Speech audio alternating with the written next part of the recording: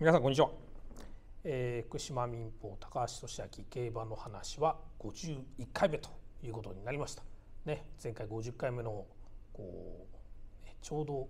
節目だったんですけれどもね。今度は100回へ向けてまた50回積み重ねるということになりますけれどもね、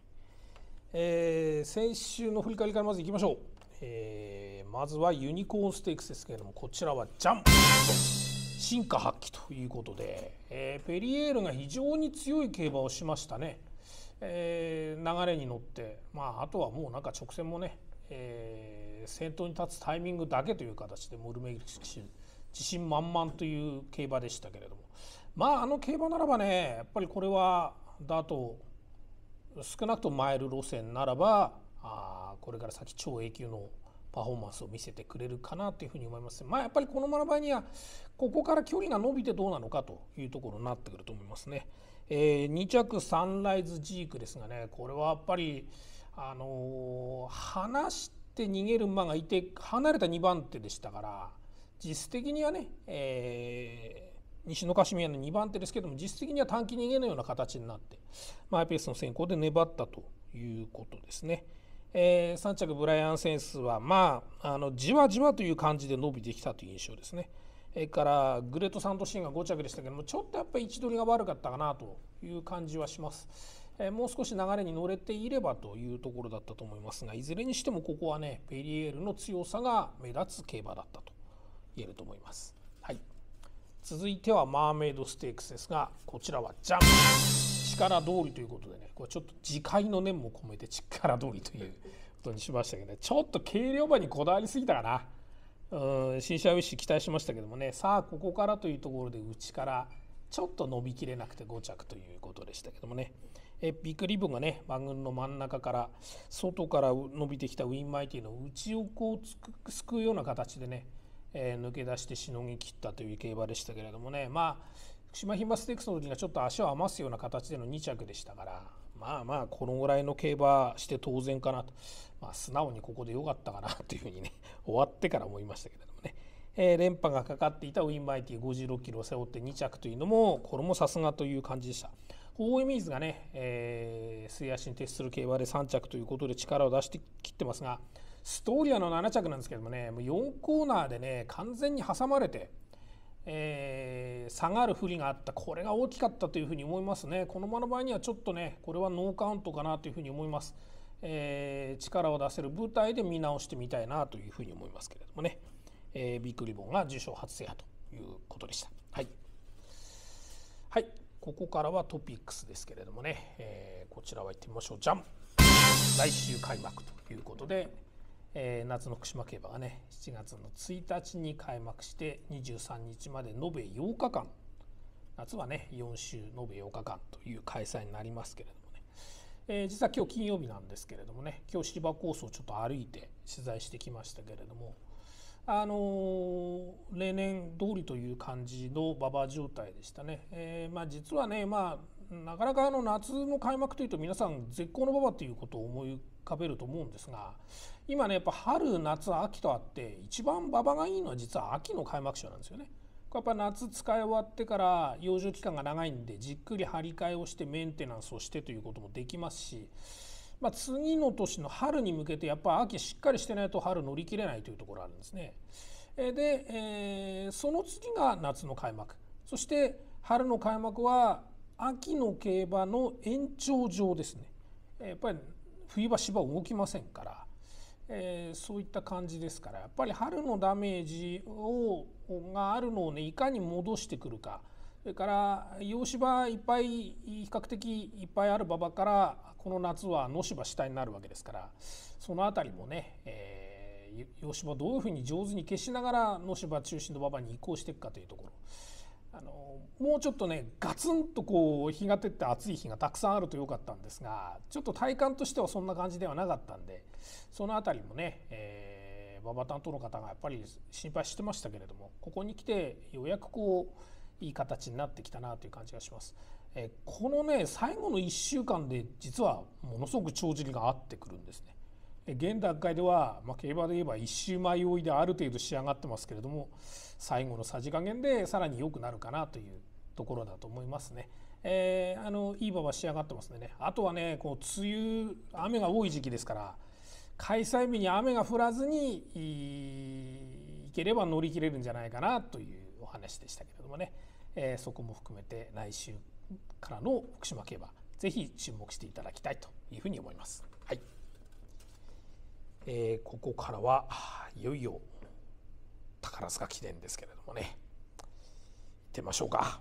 はい。こちらは世界へ衝撃というところでね、えー、G1 馬が8頭います、えー、これは宝塚記念としては最多タイということなんですね。あただねイクイノックス出てますけどここに例えばドーデュースがいたりタイトルホルダーがいたりえー、こうなってくるとね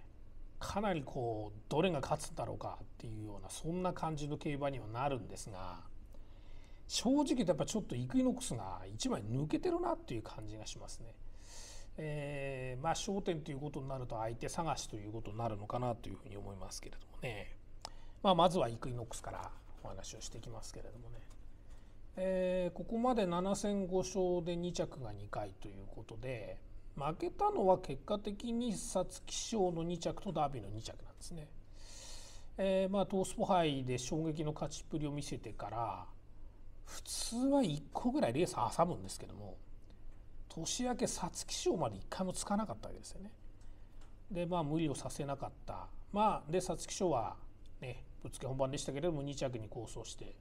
ダービーもね外からドーデュースに迫っての2着ということで、えー、まああの時点でのこの馬の能力というのは出せたんだと思いますけれどもやっぱり先がある馬ということでそこを無理させなかったというのが秋の成長につながったんだろうなというふうに思いますね。えー、秋は天皇賞秋これもパンサラスタの大逃げをきっちり捉えましたし、まあ、有馬記念は成功法でね楽に突き抜けるということで全く危なげのない、えー、レースぶりを見せて、まあ、G は2勝でしたけれどもね年度代表馬ということになりました。でもちろん今年はね、まあ、無敵の強さを見せてくれるんじゃないかなというふうに思いましたけれども、まあ、ドバイに遠征したドバイシーマクラシックがね、まあ、ちょっと強い強いとは思ってましたし勝てるとは思ってましたけどちょっとあっけに取られたなというぐらいの競馬でしたよね。えーまあ、まず逃げたことが意外でしたけれどもあの逃げて先頭走ってるところがねまあ、顔なんかも似てるんですけども北さんブラックだなやっぱりっていうそんな感じを受ける、えー、フットワークでね走ってましたけれどもまあほとんどルメール騎手追ってないような感じなんですよね。もうゴール前そうですね 100m はないかな。でももう流してましたからね。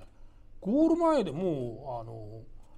ルメール騎手よくやったって感じでこう首筋こう撫でてるぐらい。でそこからスーッと差が縮まってきたんですけど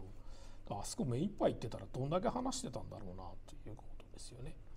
まあ、レーティング129というレーティングを得ましたけれどこれは、えー、日本歴代3位ということになりますね。エルコントロパサージャスタウェイのについての3位ということになりますけれどもまあもう本当に4月の発表からずっと1位ですしね世界ランクワールドベストレースオースランキングで1位ですしまあ本当に強いなという競馬でしたよね。でまだやっぱり完成してるという感じではないんですよね。もっと強くなるだろうなという感じがしますし、まあ、やっぱ底知れぬスケールがあるなというそういった印象です。えー、で今回はねあの今見本の販路が使えないということもあってで庭園で乗り込んでからあ立冬に入って立冬でずっと調整されてるんですね。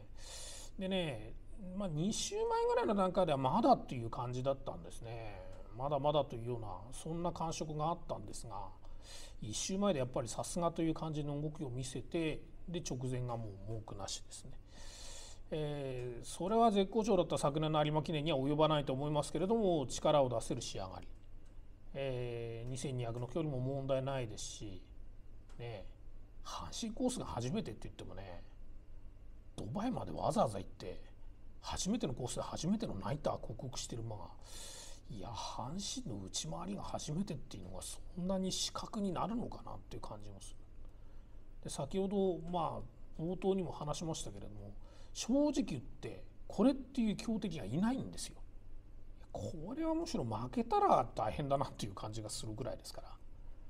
まああのこのメンバーならばまた世界に衝撃を与えるぐらいの強さを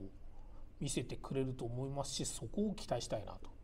いうふうに思ってます。はい、ですから焦点は相手探しということになってきます。えー、相手の人に挙げたのがジャスティン・パレスですね。同じ4歳馬、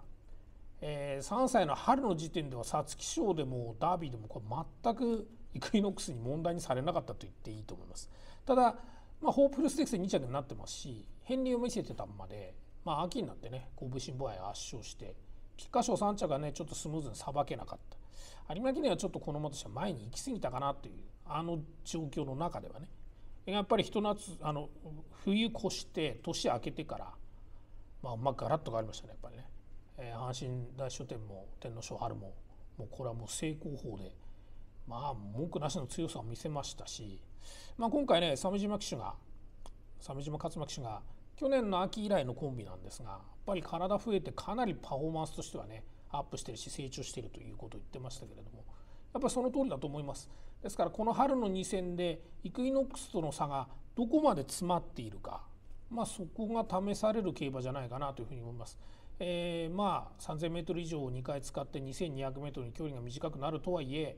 まあ、神戸新梅来あれだけの競馬してるわけですから 2200m 僕は全く問題ないというふうに思いますしやっぱりこの馬が相手の人になってくるかなというふうに思いますね。で3番手がディープボンド。で僕は天皇賞春の時点では、まあ、この馬として大変失礼なことを言ってたと思うんですがね。もうピーク過ぎたと。あの安心大書店の負け方がやっぱこの馬らしからぬ感じだったんでいやどうかなと思ってましたけどね。いや天皇賞原さすがでしたね。4コーナーでね早めに上がってきて。ひょっとしたら勝てるかなっていう感じの2着でしたね。で天皇賞春は3年連続2着ということで。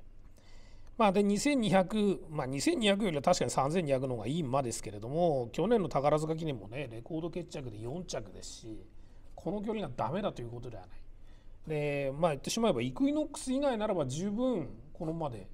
勝負になる馬ばかりですから、うん、ここはやっぱりね、えー、イクイノックスの相手としてはこの馬も当然有力になってくるということでね全体で言えば3番手という評価です。えー、ジェラルディーナですけれどもねこれは阪神 2200m で行われたエリザベス女王杯去年のエリザベス女王杯を勝ってますから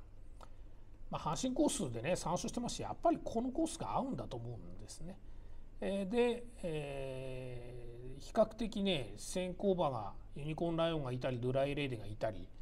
そしてそれをね早めに捕まえに行く、えー、アスク・ビクター・モアとかそれからダノ・ザ・キット。まあもちろんディープボンドあたりも早めに動いていくということになると前がかりでどちらかといえば決めて勝負底力勝負になってくると思うんですね。こういう流れになるとやっぱこの馬の末足というのが生きてくるというふうに思いますしこの馬ね 2000m2400m 2400m というその根幹距離ではなくてこの2200ぐらいのこうねちょうど間の非根幹距離の方が多分合うタイプだと思うんですね。そこも含めてというところです。はい、えー、あとはね意外と人気を落としてるんですが去年の皐月賞馬のジオグリフですね。ここ2戦はダート使ってますけども芝の中距離が悪いはずがない馬ですから、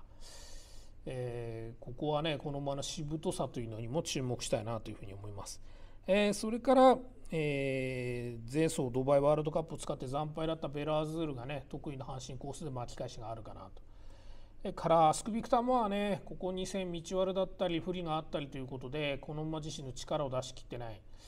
あだ横を言うとね去年の菊花賞あたりの状態にはね僕は追い切り一息かなというふうに思うんですがただこのぐらいの距離でね先行した方が本来はいいのかもしれませんし、まあ、立て直した分圏内かなというふうに思います。まあ、これとねダノンザキットと白三角迷いましたけれども、えー、ダノンザキットを抜いてアスクビクターモアに白三角を打ったんで果たしてこの辺りがどうなるかというところですけれどもね。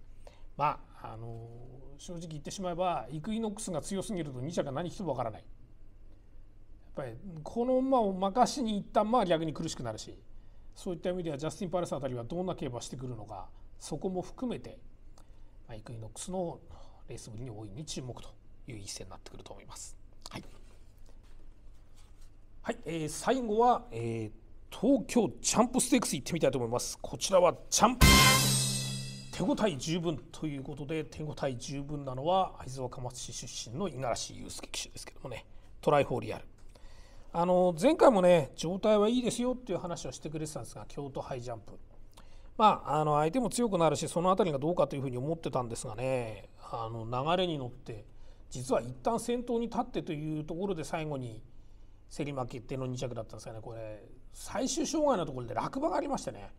これのやっぱり煽りを食らったかなと。あそこスムーズに不利なく立ち回っていたらば押し切れていたんじゃないかなという感じですよね。その辺りもね五十嵐騎手も話してましたけれどもね、えー、今回はどうなのっていうとねいや状態いいですよと。でちょっと相手強くなるんですけれどもあの前回あれだけの競馬ができたんでやれるんじゃないかなと思いますということでね非常にその辺りはね手応えを感じているなというね、えー、そんな感触でした。えー、まあ、まだね障害に入ってからこれが4戦目ということですけれども1戦ごとに良くなってきてますしね、えー、そういった意味ではね、えー、前回の競馬も踏まえてまあやっぱ距離がね短くなるのは僕はこの馬に関しては有利だなというふうに思ってるんで、えー、多少応援の気持ちも込めて、えー、ここはトライフォーリアルから行ってみたいと思ってます。相手がね、オコミビスで、まあ、これはね、えー、もう受賞何回も勝ってるまで、えー、去年の秋の京都ジャンプスティックスも非常に強い競馬をしてます。でね、えー、東京コースはまだ実は1回も勝ったことがないんですが2着4回ということでね安定感もありますしまあただやっぱり7ヶ月半ぶりの実践ということで休み明けですからねここにトライフォーリアルがつけ入る隙があるんじゃないかなというふうに僕は思っています。えー、3番手がロードアクア。まあ、あの前走楽に逃げ切りましたけれどもねやっぱりこのままあの卑劣な安定感とスピードと障害馬としてのね、えー、その能力を持ってる馬だというふうに思うんですね。えー、まあしぶとさを評価しました。えー、あとはね、えー、グレートバローズこちらはね去年の春の福島で、ね、圧勝してますけれどもね、えー、着実に力をつけてきている一頭だと思います。あとはエーシンクリック、名称アルト、ジューンベロシティといったところをマークしましたけれどもね、まあ、ここはトライフォーリアルとホッコーメヴィウスがちょっと抜けてるかなというところでね、まあ、応援も込めてトライフォーリアルの単勝を買いながらこの辺りを中心に馬券をね組み立てていきたいというふうに思ってます。はい。ということで、えー、今週はね宝塚記念をたっぷりとお届けしましたけれど。